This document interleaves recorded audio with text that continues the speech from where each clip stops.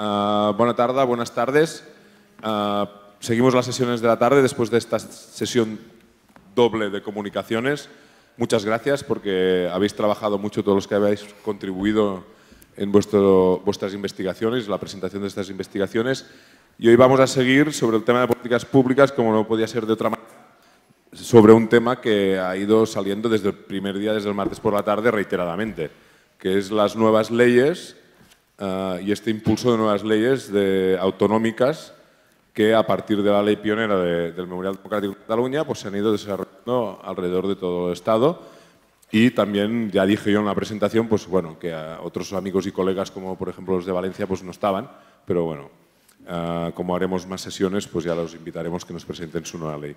Sin más dilación, presento a Javier Tebar, profesor Tebar, que nos va a moderar esta, esta mesa de los representantes de las comunidades y que nos presenten sus proyectos y sus diatribas, ventajas e inconvenientes de legislar la memoria desde las autonomías. Muchas gracias por haber venido gracias. y Javier, tienes la palabra. Bueno, muchas gracias Jordi, Buena, buena tarde a Tutón, buenas tardes a todos y todas.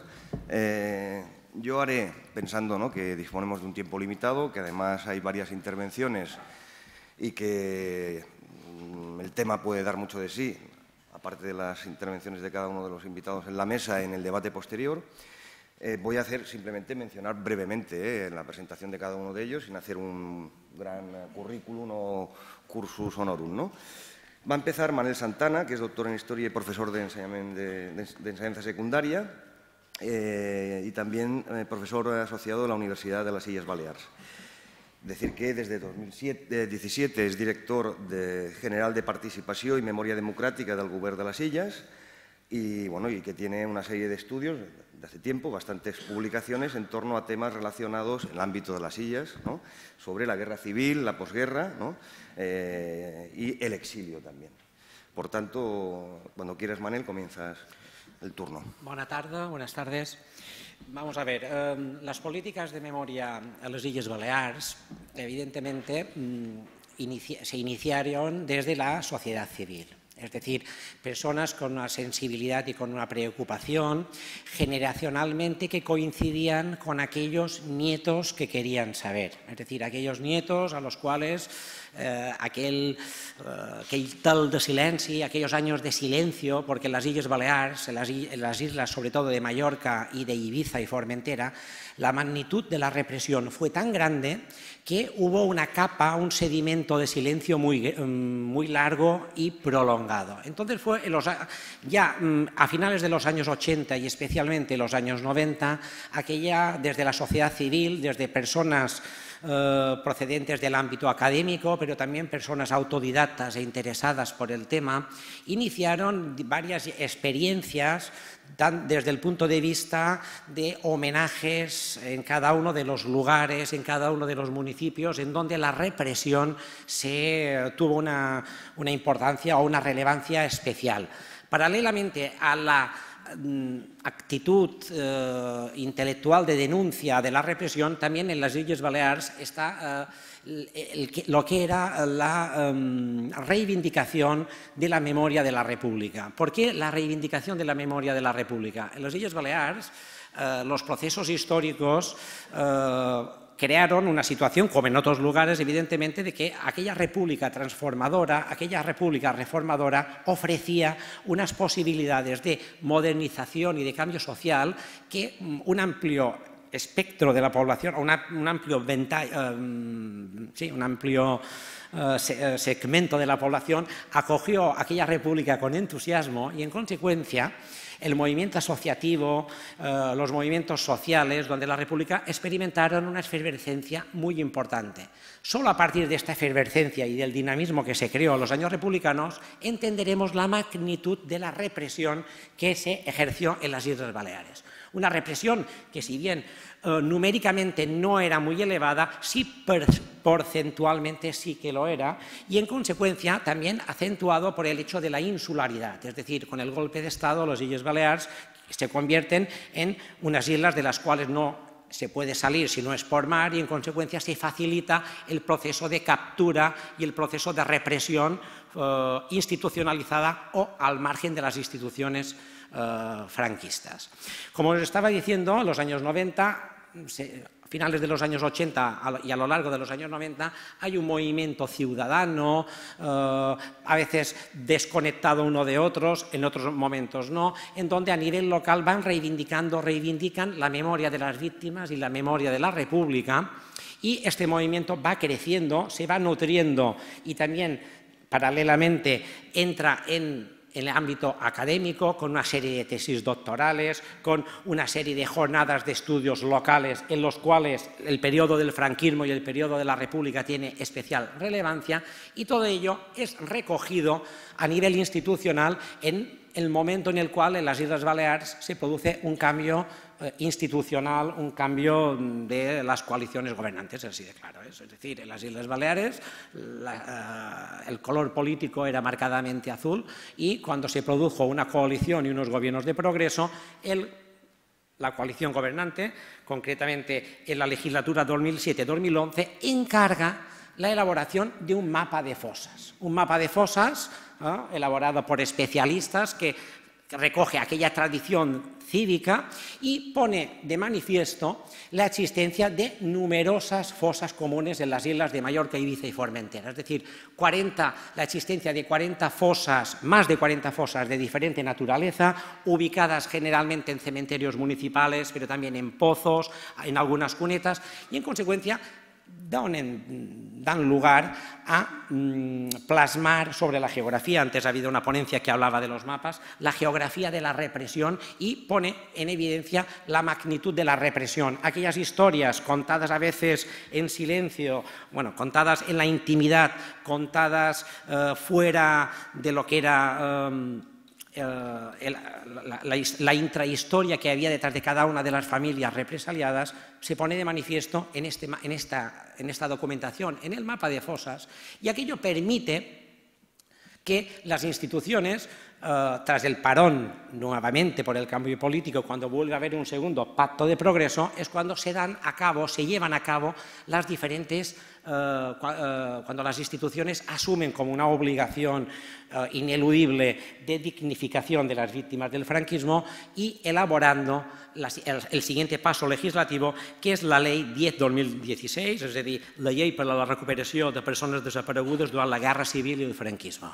Esta ley que fue producto de un amplio debate parlamentario, consiguió, consiguió aprobarse por eh, unanimidad mm, por parte de todos los partidos políticos existentes en el Parlamento de las Islas Baleares, incluso todos los partidos que ustedes ahora tienen en mente. Eh, ¿Qué quiere decir esto?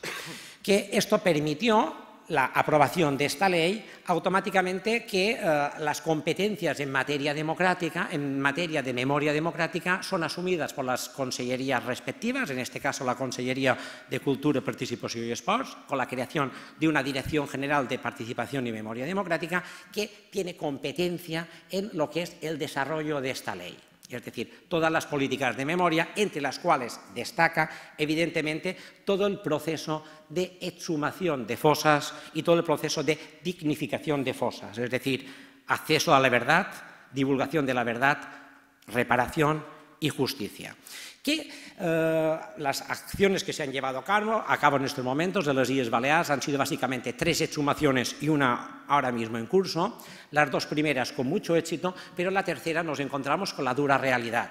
¿Qué, ¿Qué, significa esto? Estos 80 años que han pasado, no sé cómo voy de tiempo, hemos quedado que se me avisaría, estos 80 años que ha habido estos 80 años de silencio que ha habido, eh, también la memoria eh, también a veces es, eh, dilatada, es esponjosa, pero también a veces falla. ¿Qué quiere decir?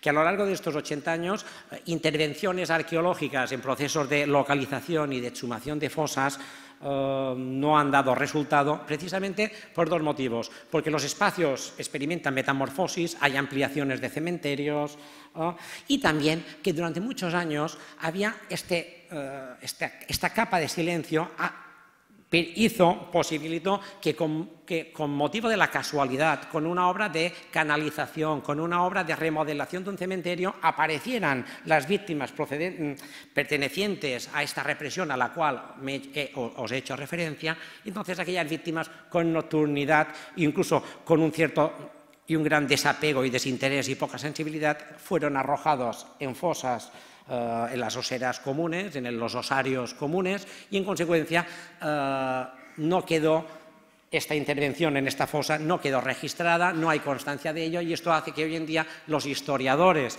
que han recogido la memoria oral, la memoria de, las familias de la represión, evidentemente nos encontramos que cuando aplicamos el mapa de fosa, eh, es decir, la exhumación del mapa de fosas, el grado de fiabilidad evidentemente no es del 100%.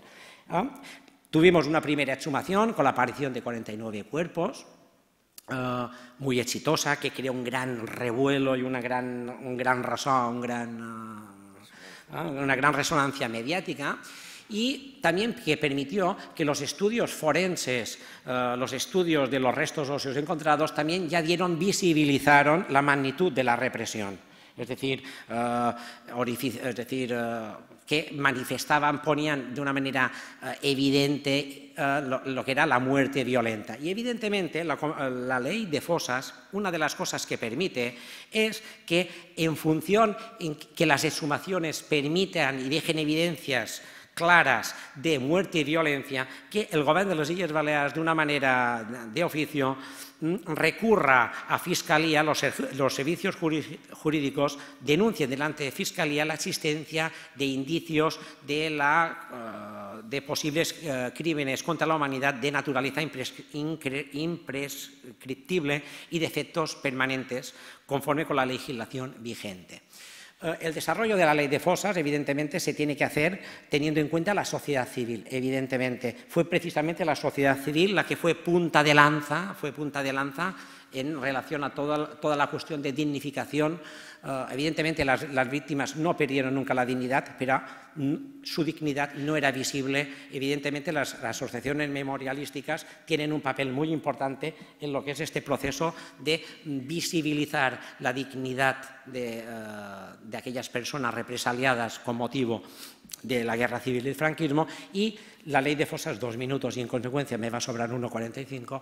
Em, esto permite que em, para el desarrollo de esta ley hay una comisión técnica con presencia con representación de todos los agentes implicados, es decir, asociaciones memorialísticas, pero también especialistas eh, personas eh, profesionales con, con, especialidades, ya no solo historiadores, topógrafos, antropólogos, médicos forenses, genetistas, arquitectos, eh, juristas, con competencia para poder mm, determinar de una manera participativa y colegiada todo lo que son las intervenciones en fosas, que no solo son la exhumación, sino es la dignificación, porque claro, las Islas Baleares, como todos los otros sitios litorales, ha experimentado un proceso de crecimiento urbanístico y, ha hecho que muchas de estas fosas, evidentemente, han sido ocupadas por construcciones de otra naturaleza y, en consecuencia, muchas de ellas son del todo... Eh,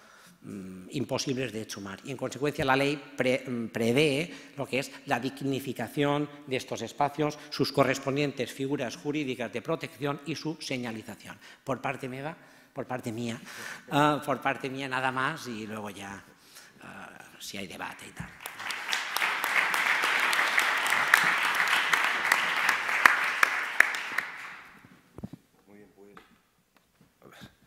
A continuación, eh, intervendrá Plácid García Planas, eh, periodista, licenciado en Ciencias de la Información por la Universidad de Navarra, con una trayectoria de reportero, ¿no? dentro de, reportero en, la sección internacional de La Vanguardia, y que desde marzo de 2016 es director del Memorial Democratic. Buenas tardes. Buenas tardes. Yo, estoy un poco constipado. Seré necesariamente breve. Eh, la persona más indicada para hablar eh, de las políticas de memoria que la Generalitat de Cataluña ha desplegado en los dos últimos años sería el conseller Raúl Romeva y, como todos sabéis, está en prisión También podrían hablar o hacerlo el secretario general o la directora general de memoria, pero la aplicación del artículo 155 y eh, la campaña electoral tampoco se lo permite. Yo, como director del Memorial Democratic, también me afecta la, el 155, la campaña electoral, y tampoco puedo hablar extensamente sobre las políticas de memoria que la Generalitat ha desplegado en los dos últimos años. Lo que sí puedo hacer, si me lo permitís, son algunas consideraciones a título personal, no como director del Memorial Democratic. Una reflexión jurídica, otra de proyección, de los problemas que la memoria tiene en la proyección. Pero primero me gustaría transmitiros eh, una cosa que si no se vive es difícil de expresar. Lo paradójico, diría que incluso desconcertante, dirigir un memorial democrático cuando el presente genera tanta memoria. Es extraño, es realmente extraño. La mm, reflexión legislativa, aunque tampoco es muy fuerte, es la ley del Parlamento de Cataluña que creó el Memorial Democratic, fue pionera en todo el Estado. Esto lo sabemos todos, desde el 31 de octubre eh, del 2007, del año 2007, un mes antes que la ley de memoria española. Desconozco yo personalmente por qué no se hizo una ley de memoria en Cataluña, quizá porque ya como había una española que la cogía, lo desconozco. En todo caso, sí que es interesante leer dos párrafos de la, ley eh, que sería el Memorial Democratic, que, repito, es la primera ley de memoria en todo el Estado eh, español. Eh, la ley se aprobó en cumplimiento del artículo 54 del Estatuto de Autonomía, que establecía la obligación por parte de la Generalitat, lo leeré en catalán, de vetllar pel coneixement i el manteniment de la memòria històrica de Catalunya com a patrimoni col·lectiu que testimonia la resistència i la lluita pels drets i les llibertats democràtiques. Más adelante dice que el Memorial Democràtic vol ser l'expressió de la pluralitat de memòries en el marc de la lluita per les llibertats democráticas. Uh, han pasado diez años y las leyes, en dos años después, en el 2009, se aprobó la ley de fosas en Cataluña.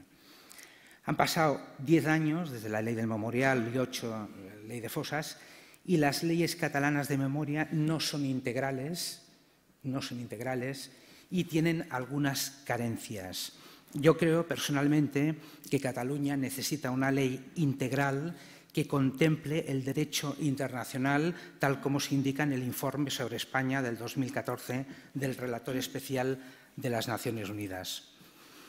Todo esto sin negligir el debate sobre hasta qué punto tiene sentido leyes de memoria cuando todos sabemos si no hay voluntad política no hay ley que sirva. ¿Eh? Eh, una anécdota, hace un año y pico, me vino a mi despacho una, persona de una comunidad autónoma española que querían hacer una ley de memoria y su obsesión era, temían que en las próximas elecciones ganara otro partido de otro signo y toda su obsesión era, me preguntaba a mí, que yo tampoco sabía darle la respuesta, qué tipo de ley tenían que hacer para que el que si viniera después no estaba de acuerdo la tuviera que cumplir la tuviera que cumplir. Entonces, eh, como, bueno, me da la sensación que en estas jornadas se debatirá si tiene sentido tener leyes de memoria. Al final, si no hay voluntad política, eh, no sirve de nada. Y la segunda reflexión eh, que a mí me obsesiona, igual porque, por mi formación de periodista, es sobre la proyección de la memoria. Podemos hacer muchos actos, muchas leyes, mucho todo lo que queramos. Llega a la sociedad porque el problema que tengo yo, llevo eh, casi dos años como director del Memorial Democratic, venía de fuera del mundo de la memoria. Esto tiene desventajas y tiene ventajas. Y una de las ventajas es que lo ves desde fuera como más fresco. Es que todo el mundo te lo dice en privado, todo el mundo te lo dice en voz baja, pero ninguno lo acaba de poner sobre la mesa. Que el mundo de la memoria hay fragmentación, la gente ya se va haciendo mayor, como me dijo una mujer curtida catalana en la memoria, me dijo, siempre somos los mismos, llevando los, mismos ramos de flores en los mismos monumentos. Miro hacia atrás y no veo demasiada juventud. Eh, demasiadas veces se dice lo mismo de la misma manera. Faltan miradas laterales y falta encontrar un lenguaje que llegue a la, juventud. Me diréis, hay jóvenes, sí, pero no suficientes. No hay suficiente gente y público por la importancia que tiene la materia. Eh, esta falta de proyección también la sufre una vertiente esencial de la memoria, que es la reparación y la justicia. Me diréis, bueno, la reparación y la justicia se tienen que hacer independientemente de la proyección que tengan. Sí o no. Si tú reparas a alguien su dignidad, la gente se tiene que enterar de que reparas su dignidad. En, ese sentido, en este sentido, las actuaciones eh, del plan de fosas de la Generalitat o la anulación de los judicis sumarísims no han tenido ni de lejos la difusión que merecen en la prensa, ni de lejos, sobre todo en los medios estatales. ¿Por qué motivos? Lo puedo imaginar, tampoco lo diré aquí, estamos en campaña electoral.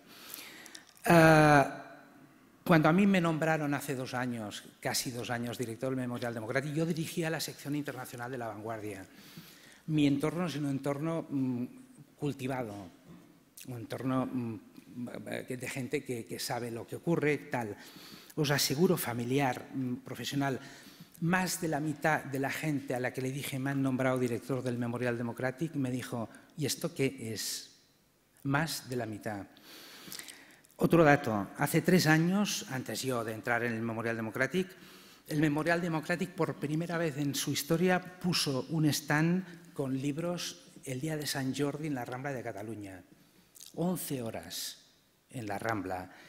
Pusieron todos los libros de la historia del memorial, de los tiempos gloriosos, todos, desde el principio al final. Once horas en la Rambla, llena. Eh, ¿Sabéis cuántos libros se vendieron? Cero. Cero. Entonces, mm, la reflexión final es que hay el peligro de que de que todos acabemos eh, haciendo políticas públicas de, de, memoria sin público o sin el suficiente público que el tema se merece. Gracias.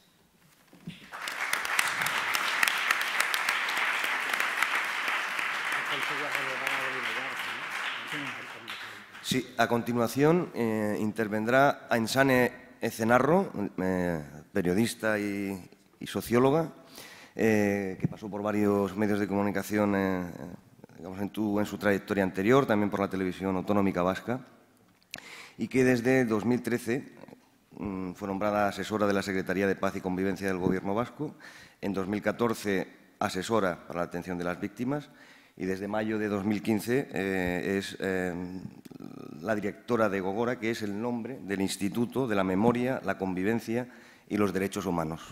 Cuando quieras, Insane. Bai, arratsaldeon guztioi eta eskerrik asko. Gracias eh, a todos por asistir a esta conferencia. Y gracias eh, sobre todo a Euron y a la Universidad de Barcelona para darnos esta oportunidad. Yo creo que es realmente interesante, está siendo muy interesante el encuentro y también eh, me parece relevante que bueno, pues, eh, estemos aquí distintas comunidades autónomas que de, la otra, de otra manera pues, no hemos tenido mucho, muchas ocasiones para compartir y escucharnos mutuamente y en ese sentido también creo que es una buena oportunidad. También quiero, antes de entrar en, explicar lo que es Gogora y qué es lo que hacemos, eh, transmitir eh, la solidaridad eh, del pueblo vasco o las instituciones vascas que represento al pueblo catalán en estos momentos. Bueno, dicho esto, esta mañana, en la última conferencia, no me acuerdo el nombre, alguien decía que el Instituto Gogora o la ley de creación del Instituto Gogora eh, bueno, no solo abordaba el tema de la memoria histórica, que se abordaba también eh, la memoria más reciente de lo que ha ocurrido en nuestro país eh, y que no le parecía del todo correcto. Bueno, yo lo primero que creo que hay que aclarar es que la ley de creación del Instituto de la Memoria y los Derechos Humanos y la Convivencia, Gogora, del 27 de hace dos años, de noviembre, del 27 de noviembre de 2015, no es una ley de memoria histórica. Es una ley de creación del Instituto de la Memoria, los Derechos Humanos y la Convivencia en un país en el que tenemos muy claro que tenemos que mirar hacia atrás.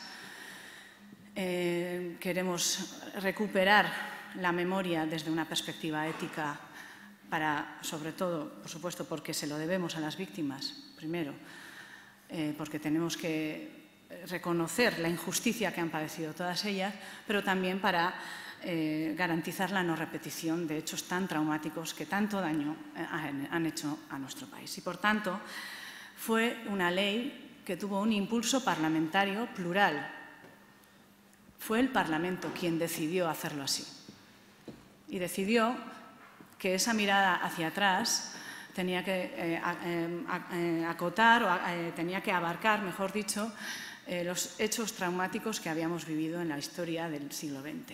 La guerra civil, el franquismo, la violencia, terrorismo de ETA y terrorismos de otros grupos y la represión ilícita en general. Y, por tanto, eh, primero, no es una ley de memoria histórica, aunque el Instituto también tiene el cometido de eh, llevar a cabo los planes estratégicos de memoria histórica, pero eh, tuvo un impulso plural parlamentario. Fue el Parlamento, el, por tanto, la sociedad vasca, la que decidió que esto fuera así y tenía motivos suficientes para decidir esto. Entre otras cosas, porque creemos que la memoria y la mirada al pasado tiene que ser eh, una mirada que acoja todo lo que ha ocurrido, sin que excluya ningún hecho violento, sin exclusiones, que eh, en demasiadas ocasiones y también en Euskadi hemos vivido intentos de la mirada hacia atrás eh, con una mirada un poco excluyente y creemos que no es la manera de abordar la memoria, tiene que ser, la memoria tiene que ser inclusiva, que no dejen afuera a nadie. Y eso no quiere decir que mezclemos todo, somos los primeros en decir que cada hecho eh, traumático, cada hecho histórico requiere su propio análisis, porque tiene sus propias características. Por tanto, abordaje de todos los hechos traumáticos, pero cada uno de ellos tendrá su propio análisis. El Instituto de la Memoria nace con la misión principal de coordinar las políticas públicas de memoria, de memoria reciente y también de memoria histórica, que ya se venían desarrollando con antelación Aquí ya se ha dicho por parte de la sociedad civil, ha habido una sociedad civil muy activa, sobre todo en memoria histórica.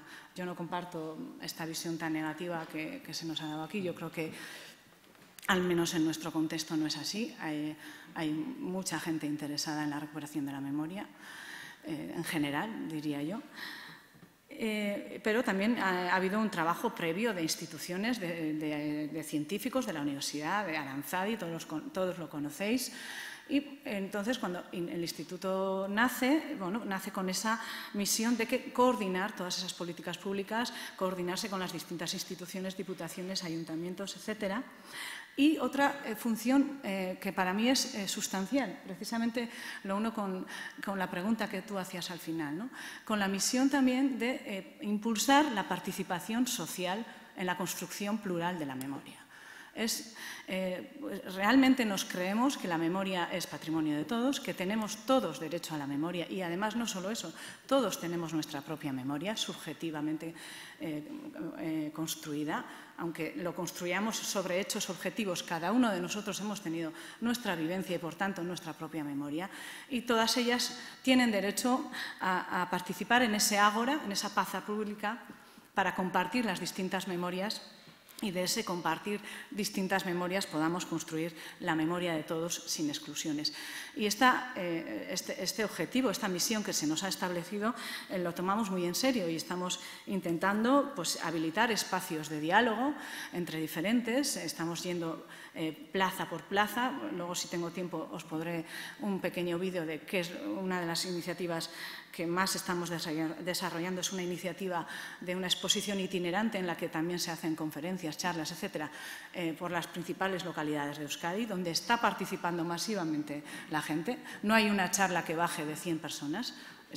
es, también bueno, hay que a veces eh, buscar las formas de llegar a la gente. Y por tanto, lo de la participación social nos lo creemos y, lo estamos intentando eh, llevar a cabo. Entonces, lo dicho, eh, abordamos los cuatro hechos traumáticos eh, de la historia reciente y no tan reciente de nuestra historia. y ahí también le damos muchísima importancia a la transmisión a la transmisión a las nuevas generaciones. Y, por eso también estamos llevando a cabo mucha tarea pedagógica. Eh, una de las cuestiones que aquí esta mañana ha salido es eh, si estos temas se tratan en las escuelas o no se tratan. Bueno, pues lo primero que hemos hecho es incorporar todos estos contenidos explícitamente en las materias curriculares, en el currículum, el nuevo currículum que se llama SIBERRI, que se aprobó el decreto en el 2015, están incorporados todos estos contenidos de memoria histórica eh, y también eh, de lo que la memoria más reciente, el terrorismo de ETA, el terrorismo de, los grupos de extrema derecha, la violencia policial ilícita, la, visión de las víctimas en relación a todo lo que ha ocurrido. Todo eso está explícitamente recogido en el, currículum. Y luego también desarrollamos talleres eh, porque, insisto, también le damos muchísima importancia a la transmisión. Hemos traído el plan de actuación para toda la legislatura. Eh, no sé si va a haber copias para todo el mundo, eh, pero en todo caso eh, está en nuestra página web, porque creo que no tengo tiempo para enseñaros, pero si clicáis Gogora en el buscador, Gogora con dos Gs, os aparece en nuestra página y ahí podréis ver todo lo que estamos haciendo y entre ellos está también el, plan de actuación que eh, aborda no solo la memoria histórica, también otras actuaciones relacionadas con la memoria reciente, pero en su página 34 eh, se abordan las líneas estratégicas de memoria histórica y a partir de la página 54, lo digo para facilitar la búsqueda, están los proyectos concretos que estamos desarrollando en memoria histórica. ¿Y qué es lo que hacemos? Pues lo voy a decir como muy, eh, muy, telegráficamente. Bueno, pues también tenemos un plan de exhumaciones que eh, eh, está siendo pues, una realidad en Euskadi, ya sabéis, de la mano de Aranzadi, con el que tenemos como Gobierno vasco un convenio desde el 2003 eh, es un convenio que eh, se ha mantenido a pesar de que ha habido diferentes gobiernos, y esto yo creo que es algo a destacar. O sea, ha habido gobiernos de diferentes colores, pero siempre se ha mantenido este convenio de colaboración para eh, el tema de la búsqueda de los desaparecidos y, sobre todo, el tema de las exhumaciones. Y en total, claro, viendo un poco, luego antes hemos estado comentando con Andalucía, viendo los números de Andalucía, pues lo nuestro es mucho menor, pero hemos hecho 94 eh, pues, exhumaciones, este, este año 9. Eh, no sé si podemos ver algunas imágenes. Eh, la última fue en Ceanuri, este, hace dos fines de semana creo donde eh, bueno, pues, eh, fue, eh, no era una fosa común o una fosa como tal que estaba identificada en el mapa de fosas, sino que fue un encuentro, bueno, pues porque tenemos una gente voluntaria que todos los fines de semana está buscando bueno, pues son prospectores que de forma voluntaria están buscando metales y de esta manera encontraron una chapa, una chapa de identificación de, un miliciano del, batallón Perezagua del Partido Comunista, con lo cual le hemos podido identificar, eh, era Pedro San Millán Beitia, pero eh, la sorpresa fue que cuando eh, fue, igual puedes dejar la última imagen, que cuando fuimos a, bueno, estas personas que han aparecido ahí son la familia, les llamamos, bueno, porque a veces identificamos al exhumado, pero no podemos encontrar a la familia, que suele pasar también. En este caso sí tuvimos la suerte de, identificar a la familia, esta es la sobrina y su hijo. Y eh, bueno, pues bueno, fue un acto emocionante, o sea, se emocionaron, como es normal, pero la sorpresa fue que cuando empezamos a, desarrollar eh, la exhumación, pues encontramos otros cuatro eh, restos humanos. Eh, y al parecer pues, fueron enterrados en la misma trinchera en la que, en la que lucharon. Seguramente por parte de sus compañeros no sé, si lo puedes no sé si los habéis visto, pero están bastante bien colocados y están encima por sus enseres, por su plato. Eh, estas son algunas monedas. Pues esto está encima de, los huesos. ¿no? Pues, bueno, pues eh, yo creo que por la forma en que fueron inhumados, eh, parece que fueron sus propios compañeros los que les enterraron. Pero bueno, nosotros seguimos, esto es una de las cosas que hacemos y seguimos con ello. Pero es verdad que en Euskadi tampoco hay tantas fosas, porque mm, la gente que sigue desaparecida es básicamente la gente que murió en combate y bueno, pues no tuvieron tiempo a, ser retirados. Pero seguiremos en todo caso eh, con esta búsqueda. También hemos eh, eh, puesto en marcha, ya llevamos casi un año con el banco de ADN, hemos tenido más de 260 solicitudes de familiares a los que ya se les ha extraído el ADN y Todavía ningún cotejo nos ha dado positivo, eso también eh, hay que ser conscientes de que es muy difícil eh, que esto ocurra, pero bueno, eh, quedarán ahí. Pero en todo caso, lo que hemos visto es que el, hecho de la recogida de, esa muestra está siendo también para muchas familias, yo creo que para todas, un acto de reconocimiento. De esta manera está reconociendo que, que ellos siguen buscando a su familiar. Para mí ha sido una sorpresa. No, sabíamos muy bien cuánta gente iba a solicitar realizar esta prueba, pero el hecho de que en muy poco tiempo 300 familias hayan solicitado hacer la prueba quiere decir que todavía están echando de menos esa familiar.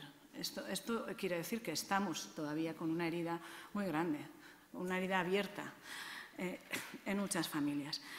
Eh, también eh, tenemos líneas de subvenciones para la retirada de la simbología franquista para los ayuntamientos y prácticamente podemos decir que a día de hoy no quedan grandes símbolos en Euskadi, quedan las placas de vivienda, algún otro letrero de este tipo, pero mm, salvo en el, creo recordar ahora de memoria, salvo en la Catedral de Vitoria, que sigue quedando un escudo, eh, había un, escudo grande en Bilbao, que esto también ya ha sido retirado, del, eh, de la Vista Alegre, del cementerio de Vista Alegre de Bilbao también había soldados que han sido retirados. Bueno, creo que en ese sentido también se ha hecho una labor importante.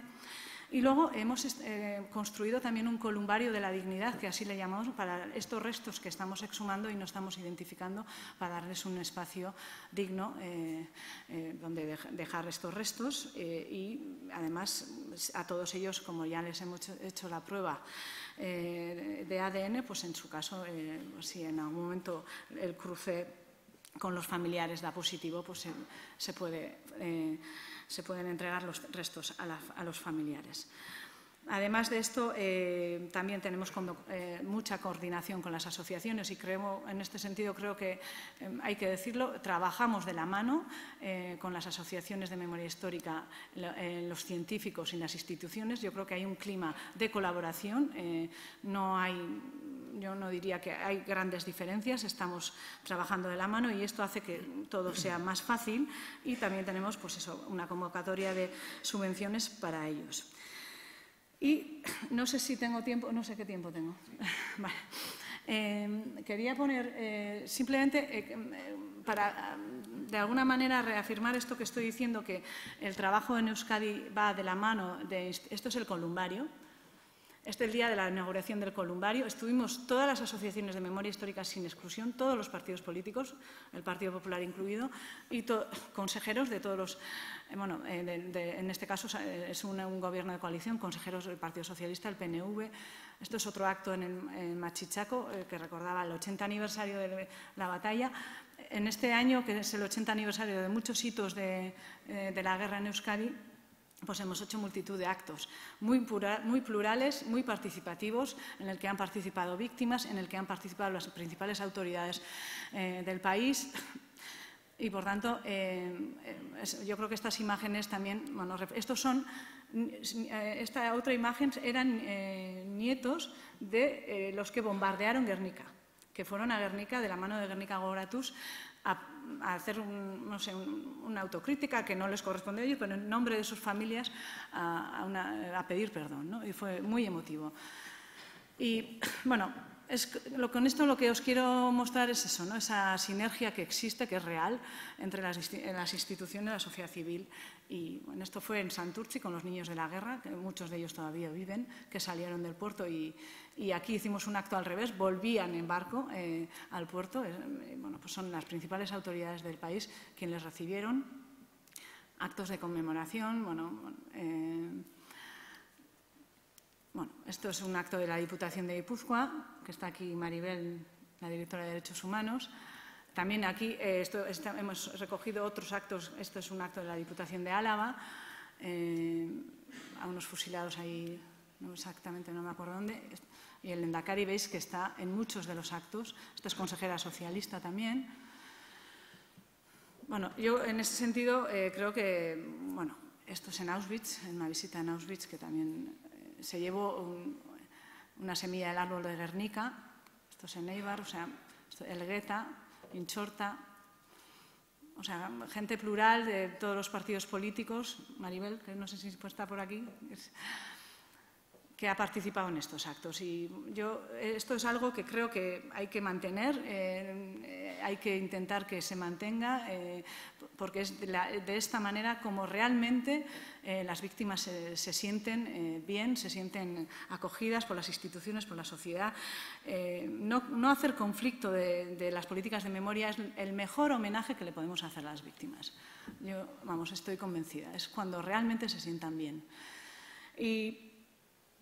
Y para acabar, quería eh, decir que nuestro objetivo estratégico es, de alguna manera, intentar culminar, no sé si vamos a ser capaces, pero culminar eh, lo que está pendiente eh, desde lo que podemos hacer, desde nuestras propias competencias.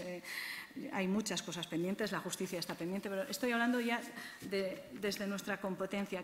Nuestro objetivo sería, para finales de legislatura, poder alcanzar un acuerdo en el Parlamento que institucionalizara la verdad de la memoria histórica. Es decir, estamos realizando investigaciones, datos de base con los nombres de las personas represaliadas en el franquismo, con rigor, eh, cotejando archivos, listados, etcétera. Pues cuando esto culmine, eh, pudiéramos decir en el Parlamento que esto es la verdad de lo que ha ocurrido en Euskadi y que lo pudieran decir todos los partidos políticos. Vamos a intentar que esto sea así.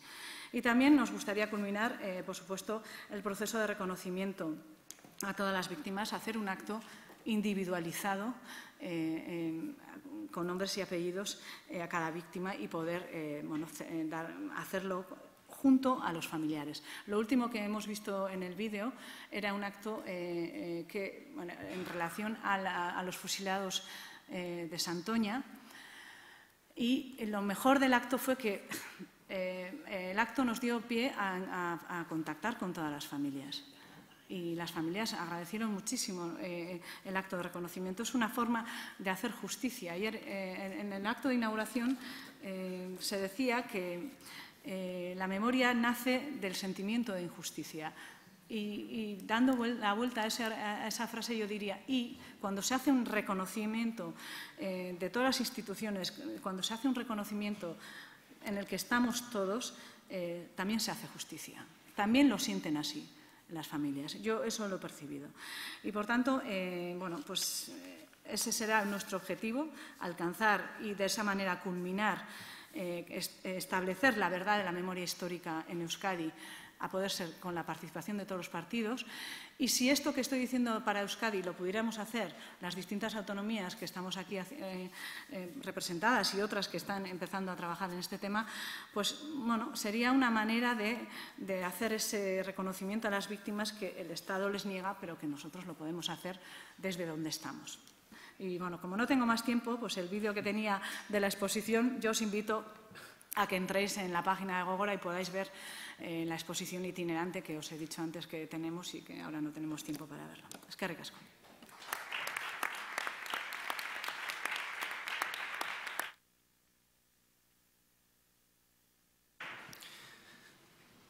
A continuación intervendrá Álvaro Baraibar, doctor en Historia por la Universidad de Navarra, donde trabaja como, o trabajaba como investigador hasta su incorporación al cargo que actualmente ocupa desde 2015 eh, como director general de Paz, Convivencia y Derechos Humanos eh, dentro del Departamento de Relaciones Ciudadanas e Institucionales del Gobierno de Navarra.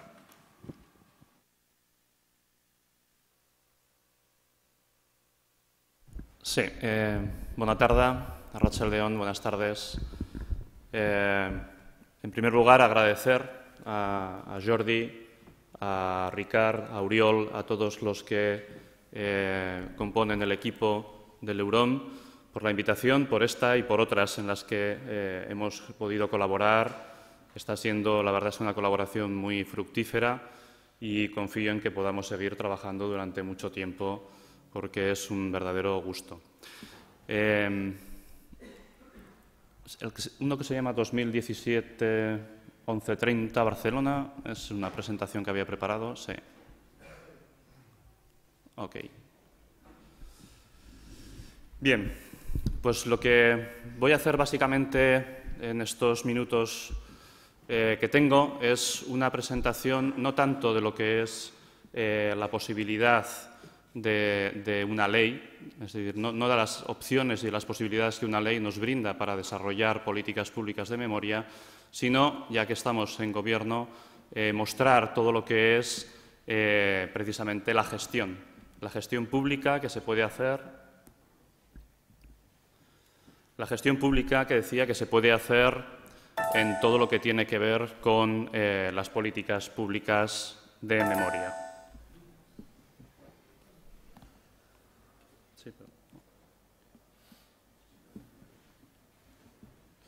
Vale.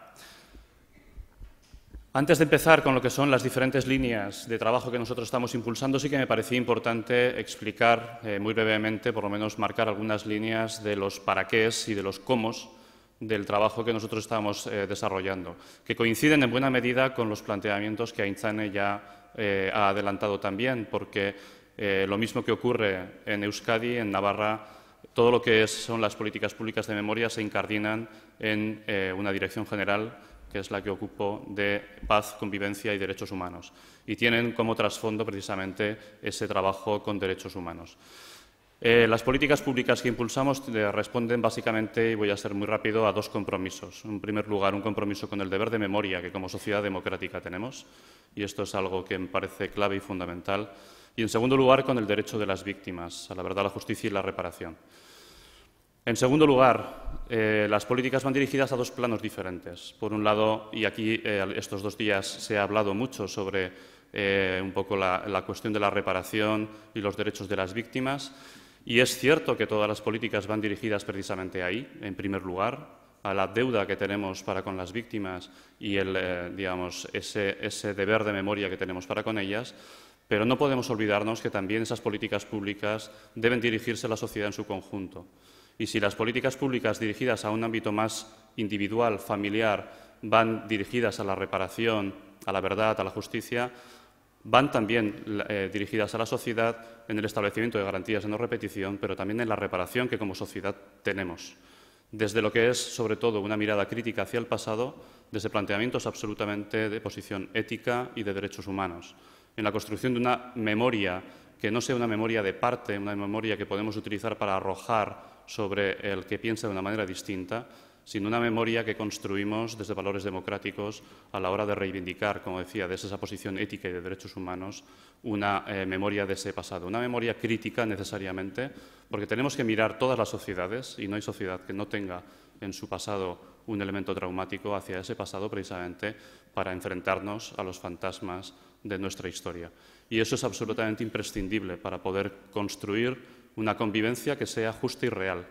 Porque si no, lo que terminamos haciendo es mirar hacia el futuro, que es imprescindible, que es lo que tenemos que hacer, que es la responsabilidad de nuestro, ejercicio en la gestión pública, pero lo tenemos que hacer con justicia. Y eso solo se puede hacer desde esa mirada crítica hacia el pasado.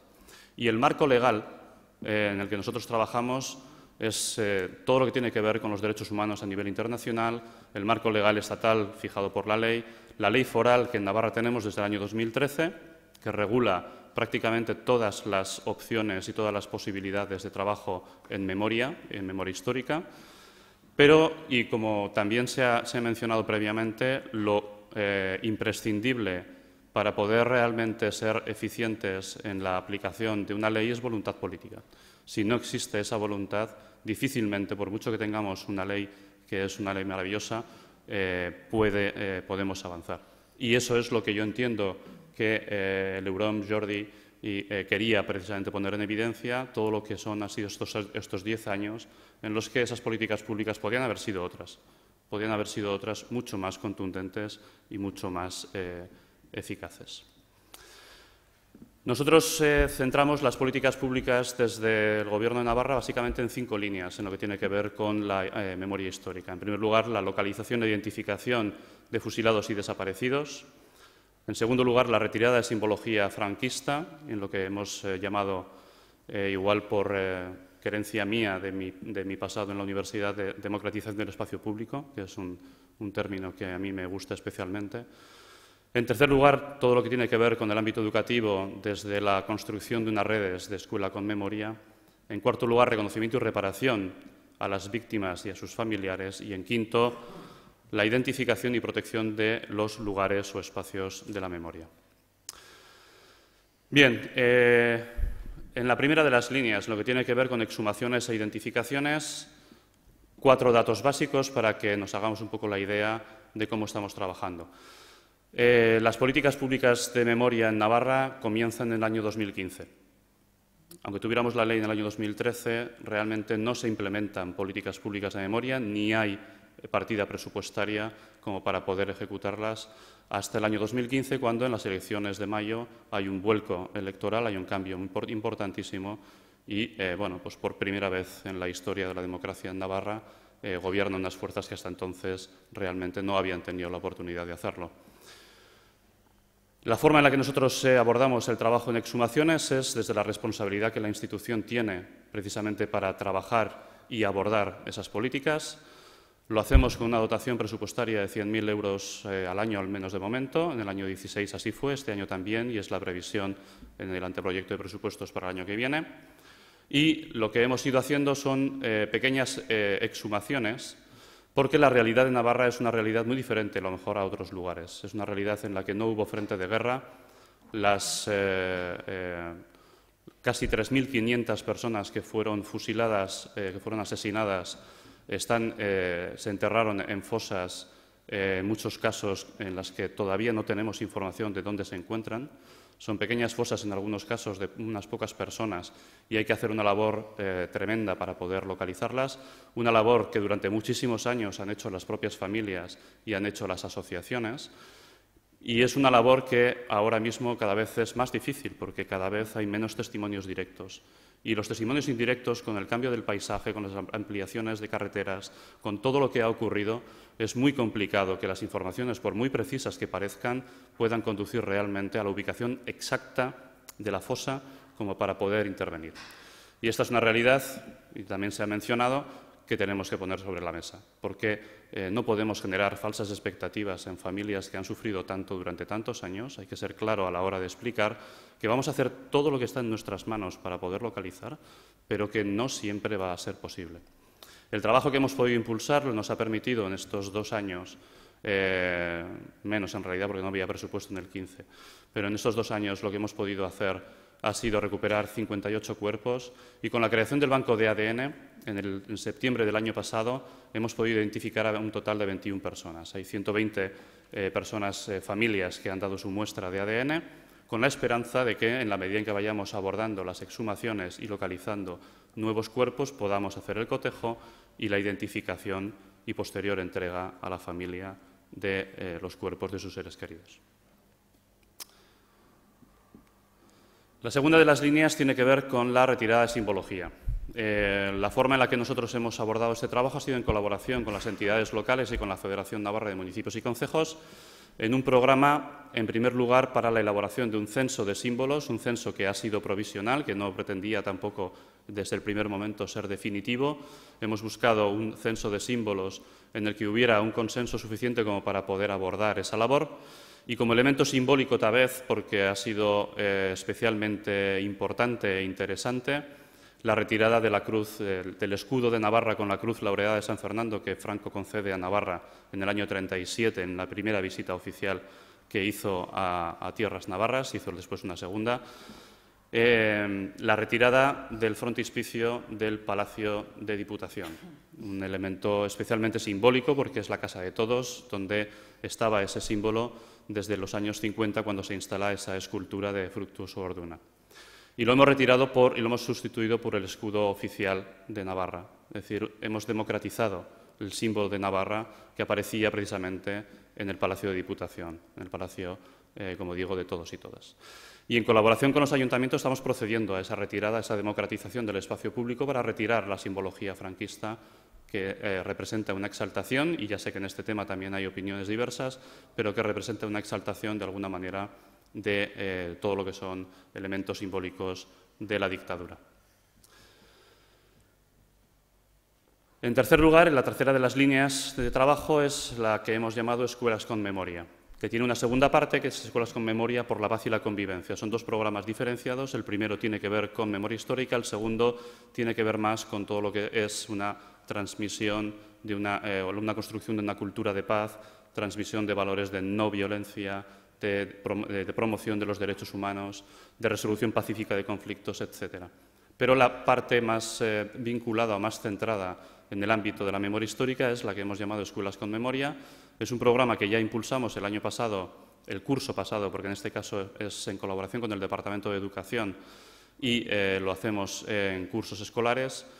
Eh, la idea es poner en valor el ámbito de la memoria, de la memoria histórica, como un elemento dentro de lo que es la, docencia, tanto en primaria como en secundaria, no solamente en secundaria y bachillerato, sino también en primaria, porque hay aspectos que se pueden trabajar con ellos. Por ejemplo, una iniciativa muy bonita de la Escuela de Roncal, eh, donde hay una carretera de, eh, digamos, construida por esclavos del franquismo y los niños y niñas de primaria hicieron unos pequeños mojones con piedras pintadas en las que luego fueron colocando cada medio kilómetro, señalizando la carretera que eh, se había construido con esclavos del franquismo.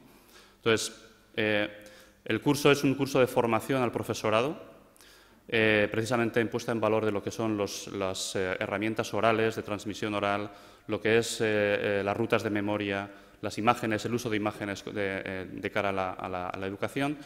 En el año 16-17 fueron 58 los docentes que se inscribieron en el curso pertenecientes a 35 eh, centros escolares de toda la geografía de Navarra.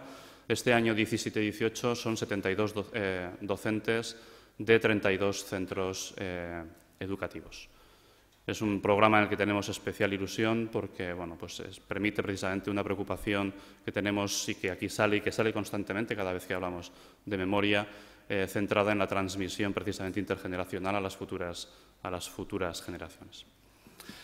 La cuarta de las líneas tiene que ver con el reconocimiento y reparación.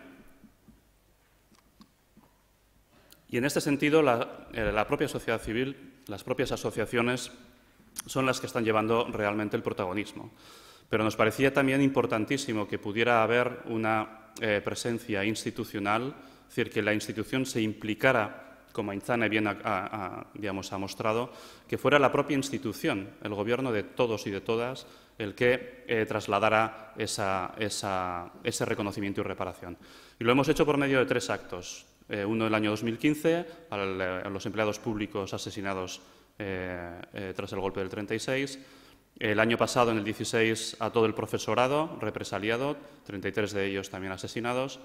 Y el año este mismo año, hace dos meses, en Gurs, en el campo de concentración de Gurs, hicimos dos actos, uno a los navarros y navarras eh, que pasaron por allí, casi 500, y otro conjunto con eh, Euskadi y Aquitania, en lo que es la euroregión, eh, un poco de reconocimiento a todo el conjunto de personas que pasaron por allí, también como campo de, concentración ya con la Alemania, perdón, con la Francia ocupada por Alemania.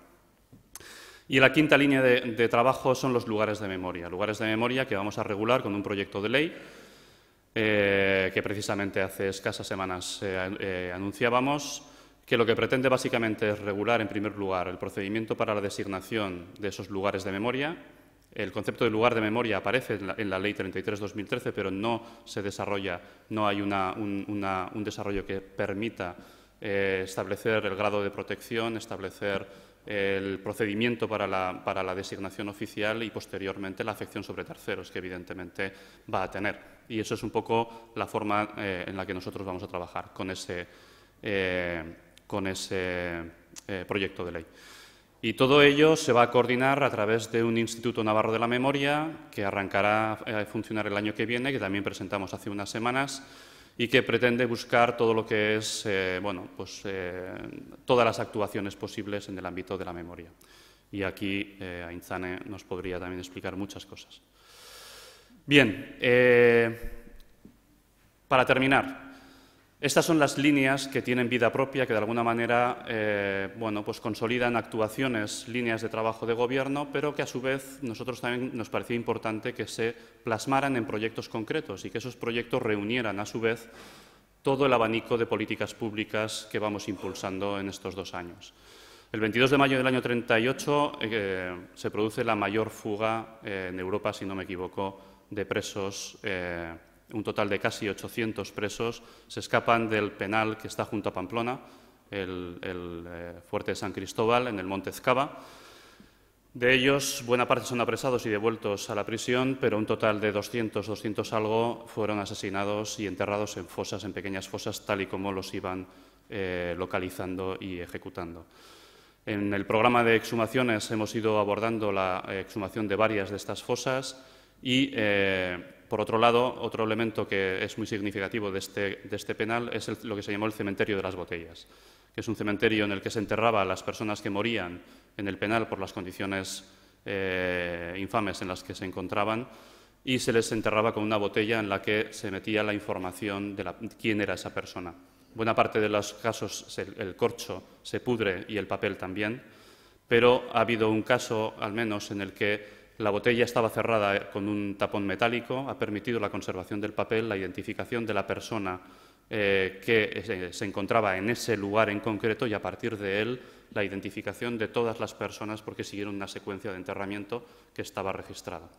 Entonces, en ese penal pasaron miles y miles de personas procedentes de todo el Estado y eh, hemos hecho una serie de actuaciones, como es la señalización de una ruta de montaña, una GR, un gran recorrido, la 225, 22 de mayo, el nombre no es casual, precisamente para marcar, y termino ya, para marcar todo lo que es eh, esa, ruta de memoria. Hemos hecho un campo de, trabajo juvenil eh, para consolidación del cementerio de las botellas, todo lo que lo son las diferentes políticas que ahí aparecen, y con lo que eh, bueno, pues se concreta en un proyecto concreto todas las, políticas públicas. Y quería terminar con algo que ya hemos hablado también, pero que es un llamamiento precisamente a eso, a una colaboración entre las distintas eh, comunidades que sí que estamos trabajando en el ámbito eh, de la memoria para constituir y empezar a, coordinar también esas políticas públicas que estamos impulsando hay mucho que, de que, sí se está haciendo y nos gustaría poder, con ese contexto del 80 eh, aniversario de eh, Ezcaba, de lo que fue la fuga, poder eh, tener un encuentro que luego se pudiera llevar a otros lugares también y compartir ese conocimiento que en Andalucía, que en, Cataluña, en el País Vasco, en Islas Baleares, en Valencia, en Extremadura, se está, se está llevando a cabo. Y termino ya. Muchas gracias. Es que ricasco.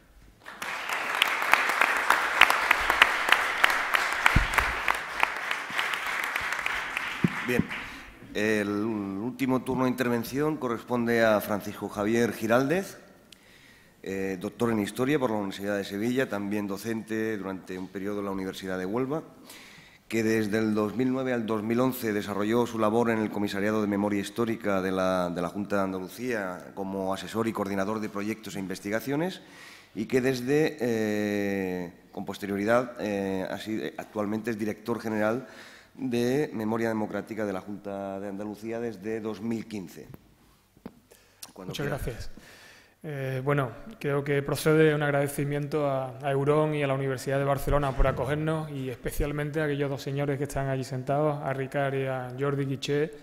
De Jordi hemos aprendido mucho y algunos seguimos aprendiendo y bueno, creo para, no, para los que no lo sepáis, un referente dentro de la memoria eh, a nivel, eh, ya no digo español, sino internacional. Eh, estamos aquí algunas comunidades autónomas, no están todas, y no está un agente esencial para el desarrollo de políticas públicas de memoria en España, que es el Gobierno. ¿no?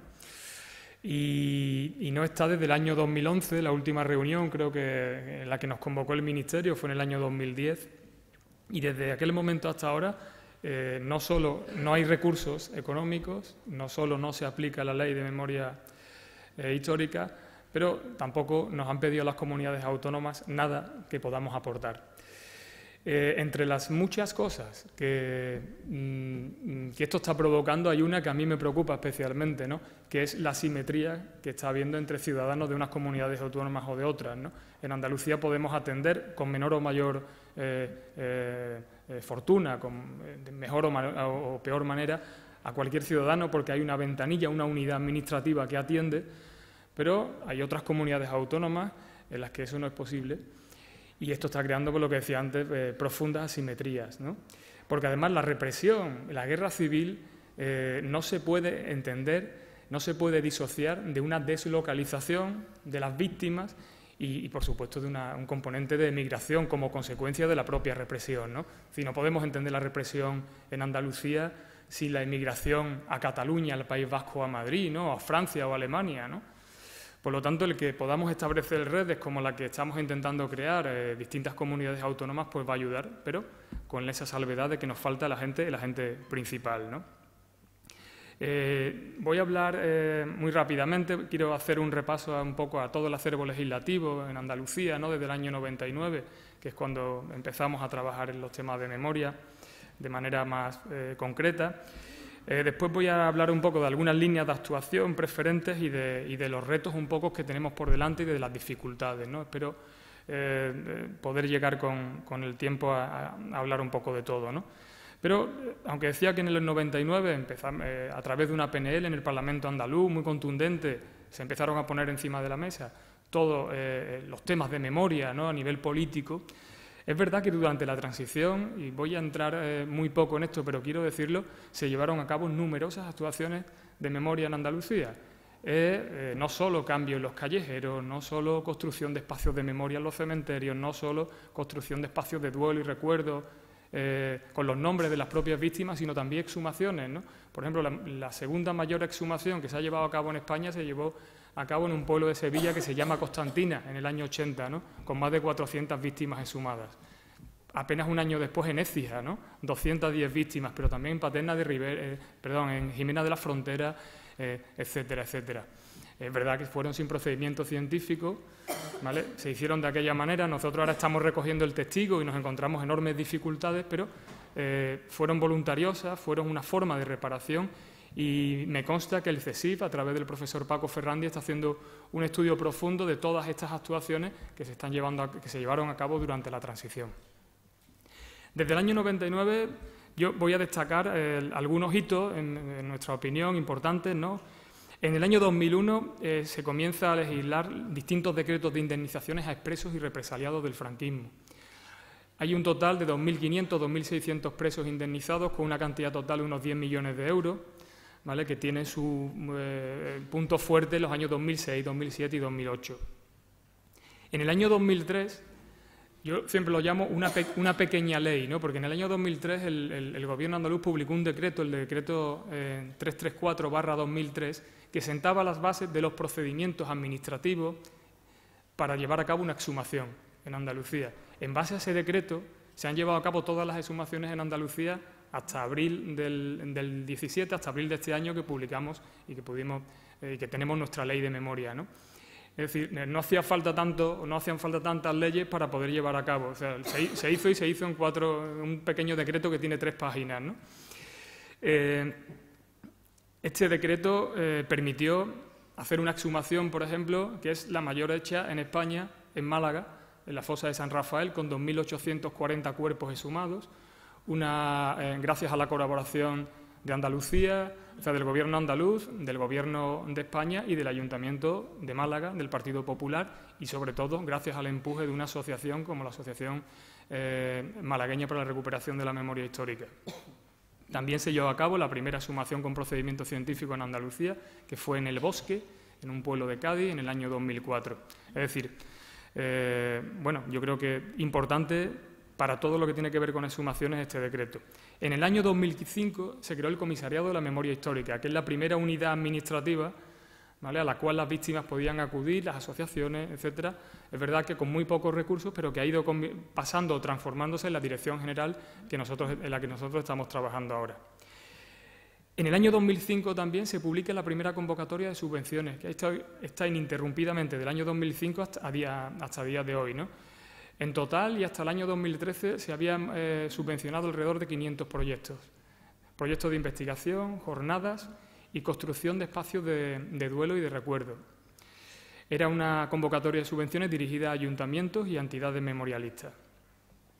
En el año 2006 se empezó a trabajar el mapa de fosas de Andalucía, fue una iniciativa del movimiento memorialista, eh, fue un trabajo duro, largo, que costó en torno a medio millón de euros, eh, si echamos la vista atrás, y donde el protagonismo fue esencialmente de las propias asociaciones memorialistas y también una pequeña colaboración de las universidades públicas.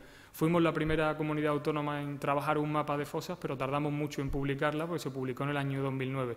Había 614 fosas, es decir, el trabajo fue ingente y aquí está Ángel del Río, que fue promotor de aquella iniciativa y, figura clave para entender aquellos trabajos. Bueno, en el año 2009, dos años antes que el Gobierno, eh, Andalucía publicó el protocolo de sumaciones de la Junta de Andalucía, que venía un poco a mejorar desde el punto de vista técnico ese decreto 334 que yo os hablaba y que es con el que nosotros trabajamos eh, actualmente. En el año 2010, eh, la Junta publicó un decreto muy largo, de nombre muy largo, pero que para no tampoco cansaros, era un decreto para la reparación de lo que en Andalucía y en parte de La Mancha se conoce, se conoce como las pelonas. Eran mujeres rapadas a las que le dieron aceite de ricino, es decir, mujeres vejadas en su honor y en su intimidad. Fue un gesto, más un gesto, que porque no había un número de, no había un número de mujeres tan grande como para que hubiera tenido una gran repercusión, pero fueron 112 mujeres. El gesto era muy importante porque era reconocer esa represión silenciosa que eh, se había quedado muchas veces en el ámbito de la mesa camilla y ponerla en el espacio público. Sobre aquel decreto, un dirigente del Partido Popular, que está ahora mismo en la cárcel, dijo que le pareció vomitivo. nunca se me olvide aquello. Estaban todos los medios de comunicación, podéis buscarlo. Bueno, en el año 2011 se publicó el decreto de lugares de memoria, que es un tema muy importante para nosotros y con el que y es donde yo conocí a Jordi Guiché, donde pudimos trabajar juntos en aquel decreto mediante el cual hay declarados en Andalucía 51 espacios de memoria, cárceles, fosas, espacios de fusilamiento, etcétera. Y finalmente, en marzo de este año se publicó la Ley de Memoria Histórica y Democrática, una ley que afortunadamente y de lo que yo creo que tenemos que estar eh, contentos en Andalucía salió sin votos en contra y con creo que unos discursos de todos los, de todos los partidos políticos en los que se pudieron encontrar eh, bastantes puntos en común. Es una ley ambiciosa que apunta a muchas direcciones y que, y que va a necesitar un importante desarrollo y una asignación económica adecuada. Bueno, de las líneas de trabajo eh, nuestras, eh, una prioritaria y en el nivel uno de prioridades es las fosas. Así, Andalucía, como decía antes, tiene, eh, según el mapa de fosas, 614.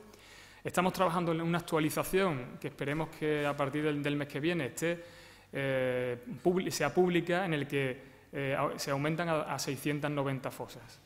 Con lo cual, fosas, la mayoría de ellas de represión, con lo cual grandes fosas, y que, y que, requieren mucho trabajo previo de localización, de documentación, de delimitación, de ubicación para poder presupuestar, para poder enfrentarlas. Eh, ahora mismo estamos trabajando en siete, en siete fosas y en distintos puntos de Andalucía y mm, de las siete hay tres en las que no hemos encontrado, estamos a punto de recibir los informes, pero no hemos encontrado restos, ¿no? eran eh, fosas que estaban más o menos bien documentadas y, no hemos encontrado restos y creo que va a ser un patrón que vamos a ir eh, eh, eh, repitiendo a lo largo de, los próximos meses. El, saber que las fosas estuvieron ahí, pero que ya no están. ¿no? Y es algo en lo que, como decía Izane, tenemos que, tenemos que trabajar, tenemos que estudiar y tenemos que profundizar. En cualquier caso, para nosotros es vital intervenir, porque también es una forma de reparación. Es decir, los familiares tienen esa sensación a pesar de que no están de tranquilidad. Y creo que eso es una, es una tarea que tenemos que seguir. Eh, Tenemos un déficit también, tenemos que empezar a abordar las grandes fosas que tienen muchas dificultades desde el punto de vista presupuestario, tenemos que armonizar estas exhumaciones con los procedimientos administrativos, con familiares que se nos, están yendo y, nos está resultando complicado. Ahora tenemos por delante dos grandes fosas que tenemos que empezar a abordar, en las que eh, queremos que el Gobierno de España esté, o al menos que nos diga que no, si no va a colaborar. Eh, son las fosas del cementerio de Sevilla, la fosa conocida como la fosa de Pico de Reja, una fosa que, por cierto, se terminó de colmatar con 1.200 cadáveres de víctimas de la guerra civil el 8 de agosto. Es decir, eh, los represores se dieron prisa en asesinar. Y la fosa de Nerva, que es una fosa muy importante también para entender la represión en la cuenca minera de Huelva, ¿vale? donde estamos entre, entre 400 y 600 víctimas que ahora mismo estamos localizando. Entonces, estas grandes fosas vamos a tener dificultades y, tenemos que hacerlas entre todas las administraciones, es decir, Junta Andalucía, Diputación, ojalá Gobierno de España y los ayuntamientos de las mismas localidades. Eh, para que tengáis unos datos, desde el año, desde aproximadamente junio de 2015, hemos actuado en unas 50 fosas, hemos eh, trabajos de localización o de exhumación, unas 50 fosas, se han recuperado unos 400 eh, cuerpos, aunque hay que tener en cuenta que solo la fosa de Puerto Real en Cádiz fueron 187 víctimas. Desde el año 2016 tenemos un banco de ADN que lo lleva la Universidad de Granada, eh, del que nosotros estamos eh, relativamente satisfechos eh, por, la interlocución con la universidad, por el, por el nivel de los profesores y de los investigadores que están llevando este banco, porque ellos tienen experiencia en dos proyectos. Uno es el proyecto FENI de personas desaparecidas a nivel mundial y otro el proyecto ProKids, que es de niños desaparecidos también. Y bueno, creo que esta experiencia nos ha valido a nosotros también en cierta manera. El banco de ADN se está alimentando ahora mismo de eh, las exhumaciones que estamos haciendo, porque no podemos abrir el banco de ADN, por lo menos ahora mismo en condiciones a todo el mundo. O sea, sitios donde intervenimos, recogida de muestras de familiares y de restos óseos y comparativas de estos sitios. A partir eh, del año que viene queremos empezar a, recoger muestras sobre todo de hijos vivos y de hijas vivas. ¿Me queda? Vale. Me estáis mirando ahí con cara de... bueno, eh, trabajamos un anuario anual, eh, tenemos a final de año la presentación de un anuario donde un poco explicamos desde un punto de vista también eh, científico, pero también de, cercanía al familiar, qué es lo que hacemos en relación a las fosas. Y ahí voy a dejar el tema de, de las fosas. En relación a los lugares de memoria, ya lo comenté antes, otra línea de trabajo nuestra muy importante y que también ahora, pues, tras la aprobación de la ley y que amplía el marco temporal al, al, 11 de enero de 1982, que es cuando se publica el Estatuto de Autonomía de Andalucía, van a entrar todas eh, eh, las actuaciones y todas las víctimas que tuvieron lugar como la, como, eh, la prolongación del régimen durante, finales de los 70. Hay un caso muy particular y es que el, lunes, 4 de diciembre, se cumple el 40 aniversario de la, del asesinato de Manuel José García Caparrós en una de las, de las manifestaciones por la autonomía andaluza en Málaga y es el primer lugar de memoria eh, democrática que va a declarar simbólicamente, eh, declaró el Consejo de Gobierno el 28 de enero y, cuya placa se va a poner próximamente. ¿no? Estamos muy, muy contentos, muy orgullosos de, ese acto. Tenemos muchos problemas con los lugares de memoria porque eh, la vandalización de la memoria es habitual y es algo con el que convivimos, de poner una placa de lugar de memoria y a los dos días tener que cambiarla y a los cuatro días volver a cambiarla, pero intentamos ser nosotros más pesados que, los vándalos y ir reponiéndola. Eh, también participamos y colaboramos con los ayuntamientos en la, construcción de espacios de duelo. ¿no? Eh, espacios de duelo, digamos que el lugar de memoria es un hito eh, homologado con una placa homologada y los espacios de memoria generalmente con sus nombres y todos sus detalles. Y, el año pasado se inauguró eh, un espacio de duelo en el cementerio de San José, en el entorno de la Alhambra, donde hay 2.300 nombres de víctimas, en un enclave extraordinario y hermoso. En relación a los proyectos de investigación, eh, voy a hablar de tres.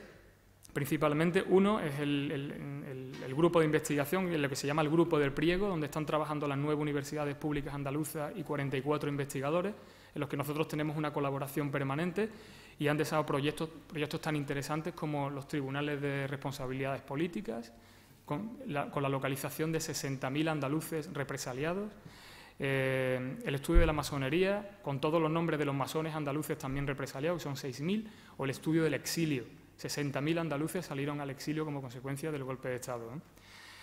Bueno, no voy a saltarme subvenciones. Tenemos un presupuesto de en torno a 1.700.000 euros. Ha subido un 30% este año y compromiso de que el año que viene suba otro 30%, lo cual nos viene estupendamente a todos los que trabajamos allí. Y bueno, termino. Tenemos nuevos retos. La ley nos plantea nuevos retos porque nos plantea dentro de la ley nuevas víctimas que antes, aunque lo son, no estaban contempladas. ¿no? y hablo de toda la represión de la que yo estoy aprendiendo ahora muchísimo y que me parece una línea de investigación muy potente que se ejerció sobre eh, eh, personas por su eh, orientación sexual, toda la represión que hubo durante el franquismo sobre los transexuales, que es, denominamos nosotros la represión dentro de la represión.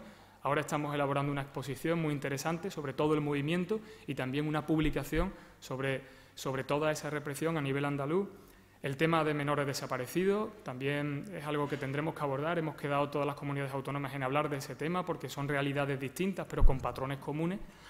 Y bueno, eh, los masones, por ejemplo, estamos teniendo reuniones con un colectivo que, es verdad que hasta hace poco no, teníamos apenas relación y, que a partir de que la ley tuviera, eh, reconociera a los masones como víctimas, pues estamos desarrollando proyectos en, común. Y ya está, eh, me paro porque ya sí me miran raro. Eh, muchísimas gracias y bueno, encantado de estar por aquí con vosotros.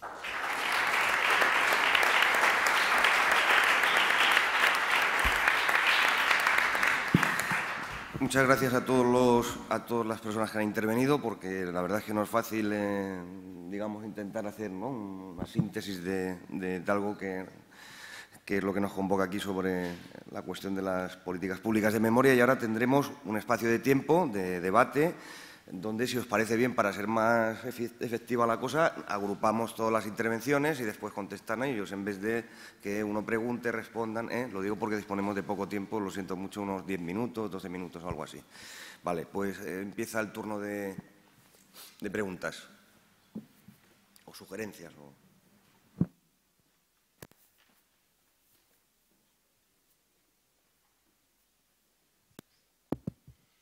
Bueno, muchas gracias a todos y todas las presentaciones.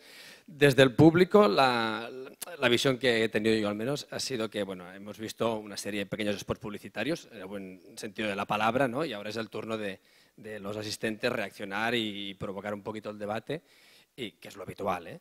Eh, lo que sí me ha sorprendido es que, quizás desde el punto de vista del Memorial Democratic se ha dado una visión nada publicitaria, sino más bien depresiva, un poco negativa. ¿no? Entonces esto mm, sorprende un poco porque sí se han hecho cosas. Es cierto que se hicieron antes, la mayoría de cosas bien hechas, lo digo así, eh, se hicieron antes de la actual dirección, antes de la hibernación de la rana, pero, sí se podían haber eh, puesto también encima de la mesa y si no se han hecho bien en los últimos años, pues aplicar un poquito de autocrítica siempre con la voluntad de, de mejoría, ¿no? de mejorar. Simplemente este comentario.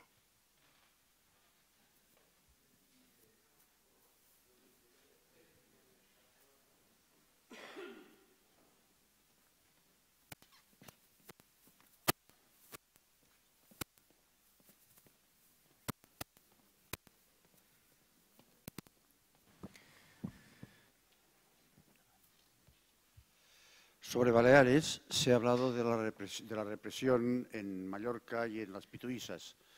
Eh, Menorca, evidentemente, es un caso aparte porque la guerra pues, duró mucho más tiempo y tal. No ocurrió nada. ¿Qué, qué nos puedes comentar?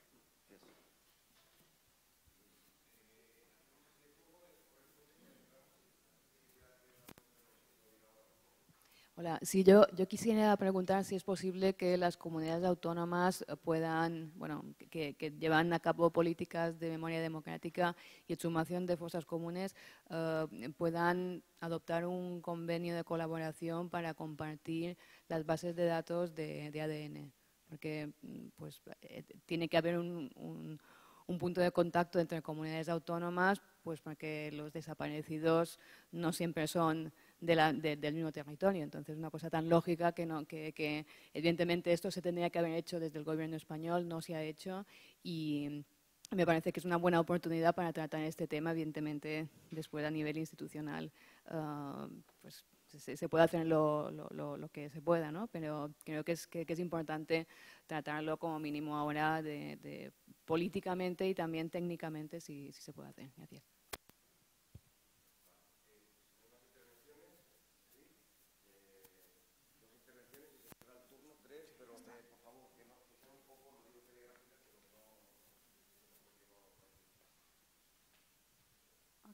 Uh, this is going to be in English. Uh, sorry. Uh, okay, uh, so coming from a different country, uh, we think that the autonomous com communities actually have done great work. But so, um, do you think that this situation, the reluctance from the national government, gives you real autonomy in the memory politics, or do you think are, you are the ones carrying the burden?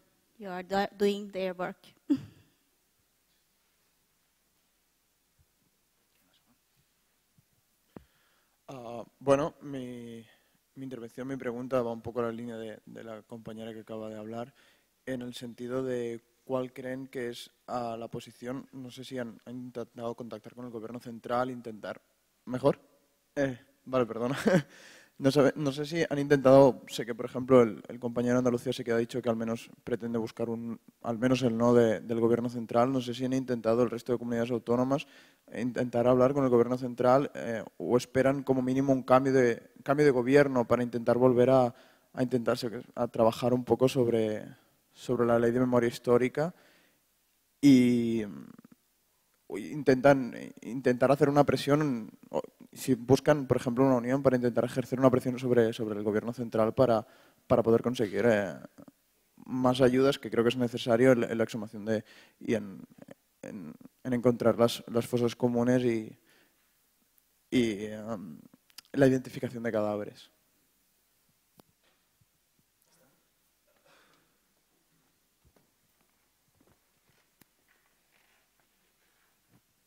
Deseaba agradeceros la información verdaderamente interesante y esperanzadora también de que algo se mueve. Y, me ha llamado la atención mm, porque no lo había oído en ningún lugar de España. si he entendido bien, Echane, había nietos de los que bombardearon Guernica. He entendido bien, bien.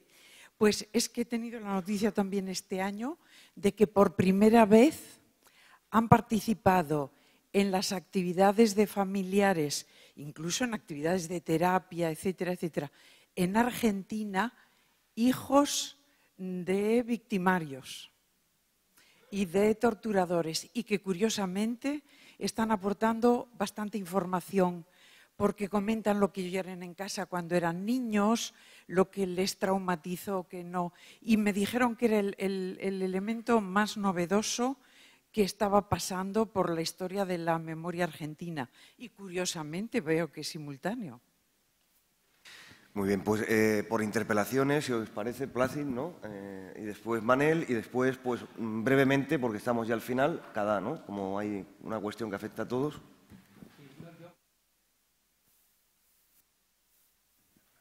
Primero, no creo en la autocomplacencia y a veces el mundo de la memoria cae en la autocomplacencia, pero es que igual no me he explicado bien. Claro, como yo por el 155 y la ley de la campaña electoral no puedo hablar de lo bueno que hemos hecho, me he quedado en lo malo. ¿no? Entonces, mm, aquí igual eh, no lo debería decir, pero es un gran avance la, anulación de los juicios sumarísimos, que no es eh, eh, mérito de este gobierno, sino todo el Parlamento, incluso creo el PP lo aprobó y la aplicación del plan de fosa es, un avance mm, espectacular, es un gran avance. Entonces, mi negatividad eh, era solo en la proyección de la memoria. Es decir, es indudable, y me lo comentaba el compañero eh, de Mallorca, que la prensa eh, no, y los medios de comunicación no reflejaron ni lo de los judicis sumarísimos ni, ni los avances en, en las fosas, no, no, no, no, se refleja en los periódicos en la profundidad que tiene. Y en todo caso, lo de los problemas en la proyección de la memoria es que no lo digo yo, es que te lo dicen las asociaciones memorialísticas. es un tema, repito, eh, que, es una obsesión mía como periodista, ¿no? la difusión, pero es un tema que, que, te lo dicen en voz baja y nadie lo acaba de poner encima de la mesa. Pero no te quedes con lo negativo, que es que con lo positivo no puedo hablar. En relación, a, las Islas Baleares y concretamente el, aspecto que usted me ha preguntado de Menorca, básicamente la radiografía de las Islas Baleares sería la siguiente. La isla de Mallorca desde el minuto uno es franquista y en consecuencia la represión que se ejerce es del bando nacional sobre las personas de ideología republicana. En la isla de Ibiza hay un periodo corto de presencia y dominio republicano las mm, víctimas mm, del bando nacional durante muchos años y, aún en la actualidad están en un columbario en, la Catedral de Ibiza, identificadas incluso con determinadas grafías y nombres más grandes dependiendo de la categoría social. Determinadas familias tenían los nombres más grandes arriba y el pueblo. y eh, luego está la represión, una vez que el bando republicano cae la represión sobre los republicanos que están en fosas comunes y que estamos exhumando. En relación a la isla de em, disculpe, la isla de Menorca. En el periodo republicano hubo, durante el periodo de dominación republicana, hubo una represión ejercida sobre elementos católicos y elementos de derechas. Esta represión incluso tuvo episodios mm, de crueldad, como de crueldad y de violencia, pero aquellas víctimas, una vez producida eh, la recuperación por parte del bando nacional de la isla de Menorca, fueron, eh, los cuerpos fueron entregados a las familias y se produjeron procesos de actos de reconocimiento, de recuerdo a las víctimas del bando franquista, incluso una serie de beatificaciones y canonizaciones declaradas mártires. Una vez que se produce la eh, recuperación por parte del Ejército Nacional, entonces la, represión que se ejerce en, Menorca es una represión eh, instrumentalizada, institucionalizada a través de mm, las nuevas autoridades franquistas y esto hace que en Menorca no haya ni una sola fosa común de momento localizada. No sé si de esta manera. Gracias. En relación A, la mención de los nietos, que estaba pensando ahora, ni siquiera me acuerdo eh, de los nombres, pero sí eh, fueron dos personas nietas de, los que bombardearon, de dos pilotos que bombardearon Guernica, que fueron invitados por Guernica Goratus, es una asociación que trabaja en Guernica, y que participaron en nuestro acto institucional bueno, con un discurso claramente autocrítico. Y yo sí creo, y lo hemos podido ver en otros ámbitos, eh, la autocrítica tiene mucho, mucho, mucho potencial pedagógico, muchísimo, y reparador, como no. Y quienes en ese momento estaban haciendo la autocrítica estaban también las víctimas que habían sido supervivientes del bombardeo, con lo cual, bueno, yo creo que fue un momento muy emotivo y creo que ojalá se dieran más casos de esos, ¿no? pero es bastante aislado. En relación a lo que se preguntaba aquí, y por aprovecho ya que tengo la palabra, de si nos van a dejar hacer o algo así, entendido, ¿no? El gobierno central, la autonomía. Yo creo que bueno, es una realidad que esto está pasando, nos están dejando hacer. No solo eso, eh, hay que recordar que recientemente en el Congreso de los Diputados, que no tienen mayoría absoluta, pues se ha aprobado eh, eh, acoger a trámite la admisión a trámite de la modificación de la ley de memoria para que en su artículo 3 sea modificado y que precisamente las sentencias pasen de ser ilegítimas a nulas de pleno derecho. Es decir, tampoco tiene, no pensemos que tiene tanto poder. No tiene, mira, en este caso teníamos la duda de qué iba a hacer Ciudadanos en la votación se abstuvo y eso permitió eh, que, efectivamente luego ya veremos dónde queda. Pero en este momento está en trámite la ley de, modificación de la ley de memoria histórica en el Congreso. No hay mayoría absoluta. Y, por tanto, yo creo que no nos tenemos que asustar, que tenemos que seguir haciendo, que es lo que estamos haciendo. Y no sé si había alguno más. El Gobierno, no sé qué, ¿había alguna pregunta más? A lo del Banco de ADN, pues totalmente de acuerdo. Y ah, si alguien preguntaba si teníamos relaciones con el Gobierno central en, esta materia. La verdad es que desde Gogora eh, no hemos tenido esas relaciones, pero yo creo que es que ni siquiera sabremos con quién ponernos de acuerdo eh, en relación. Igual tú tienes más conocimiento de esto. Pero bueno, yo creo que lo que hay que hacer y lo que estamos haciendo es eh, hacer mm, lo que está en nuestras manos. Eh, más allá de quejarnos de lo que otros no hacen, que también podemos criticarlo y lo hacemos, pero sobre todo poner las fuerzas en aquello que podemos hacer, que es mucho, y, poner, y, seguir en ello.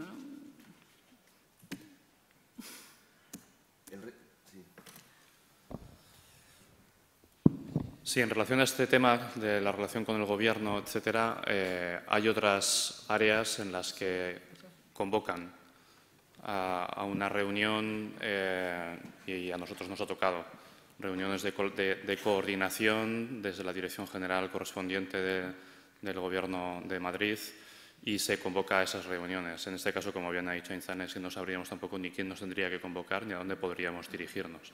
Pero es que es más grave todavía, porque eh, la visita del grupo de relatores de la ONU en el año 2013 con el informe del año 2014 es demoledora. Pero es que la revisión, la actualización, la puesta al día de la información de qué es lo que se había hecho a partir del año 2014 con unas indicaciones de la ONU que eran absolutamente clarísimas de que se estaba, eh, digamos, eludiendo una obligación de las administraciones, eh, vuelve a ser demoledora. Cuando hace unos pocos meses eh, emiten el informe de actualización, es que no da lugar a dudas. Vienen a decir con un lenguaje muy cordial, que en esto, bueno, aprecian cierta, pero en realidad lo que están diciendo es que no se ha hecho nada por parte del Estado y que tiene una obligación en cumplimiento del derecho internacional de ponerse a ello de manera activa, no de permitir, sino de manera activa, y no lo hacen. Y en ese caso, a mí también me preocupa ese tipo de situaciones en las que eh, a veces una frontera, eh, bueno, pues que, es móvil en, situaciones puntuales de la historia, como ha podido ser el momento de la guerra, un eh, río que hace una frontera, en el caso de Navarra, por ejemplo, hay personas de Navarra enterradas en, Aragón, es decir, ese tipo de situaciones se dan y, por tanto, es necesaria una colaboración. Pero, desde luego, lo que tenemos que hacer es actuar, no podemos no hacer, es decir, porque otros no vayan a hacerlo. Tenemos que hacerlo y, a partir de ahí, poner las mayores facilidades posibles para llegar a, todo lo que esté en nuestras manos y en nuestras competencias. Y, en ese sentido, la colaboración, como decía Margalida, yo creo que es fundamental. Y, en el caso del banco de ADN, absolutamente fundamental. En el proyecto, por ejemplo, de, de eh, en el que hay 200 personas que son asesinadas, son procedentes de toda la geografía española. Los eh, enterrados en el, cementerio de las botellas, algunos han sido exhumados y, devueltos a sus familiares, otros muchos todavía no sabemos dónde están sus familiares. Igual no los hay, pero en algunos casos no sabemos eh, dónde están. Es decir, hay, infinidad de trabajos que, requieren la colaboración entre los distintos territorios y eso me parece que es clave. Y el banco de ADN, yo estoy de acuerdo, en que sería un tema a tratar eh, prioritario. Muy bien, Javier. Muy rápido. Eh, eh, tenemos nosotros también una responsabilidad como, como, comunidades autónomas y es presionar, es obligar, es forzar y es ser insistentes. ¿vale? Y para eso tenemos que tener responsables políticos por arriba y por abajo que, que, quieran y que quieran y que se sienten con unos y con otros y que apretemos porque esto es importante, esto es fundamental, no para siquiera no voy a ser poético, ¿no? sino para nuestra propia democracia, simplemente. Es decir, será mejor, más sana, más fuerte si el Estado español asume este tipo de competencia. Y digo que tenemos que hacer cosas porque, y pongo un ejemplo rápido, en, eh, el año pasado, en la fosa de Puerto Real, en la fosa de Puerto Real, invitamos de la Dirección General a, la Comisión Parlamentaria de Cultura, donde estábamos nosotros antes, ahora estamos en presidencia, y fueron todos los diputados. Y cuando salieron fuera lo estaban esperando los periodistas, ¿no? Y un periodista le preguntó al, portavoz del Partido Popular en la Comisión de Cultura, oiga, ¿qué le pareció a usted la fosa? Y el tipo, este hombre dijo, pues yo le he visto la cara al horror. Es decir, si no hubiéramos abierto Puerto Real, este hombre posiblemente no hubiera venido. Por lo tanto, hagamos cosas y forcemos. También nosotros tenemos esta responsabilidad. Eh, en relación a lo que decís vosotros, también muy rápidamente, es decir, el, gobierno puede hacer algo rápido y potente, y es sentar a un grupo de expertos, que los hay, ¿no? Y no tiene más que ir al CESIP o contactar con Aranzadi y decirle, oiga, ¿dónde están los mapas autonómicos? Aquí están todos. El mapa del Estado está muy bien, por cierto. El mapa del Estado está muy bien. Sentarlos a todos y decirle, oye, ¿qué fosas son prioritarias? ¿Dónde tenemos petición de familiares? ¿Dónde hay hijos vivos? No es tan complicado. Vamos a hacer un mapa a 10 años.